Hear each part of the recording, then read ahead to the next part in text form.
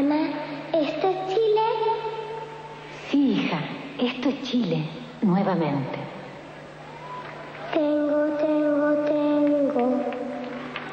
Tengo un amigo por allá, tengo una casa en que vivir, tengo mil cosas que contar. Yo soy de allá y soy...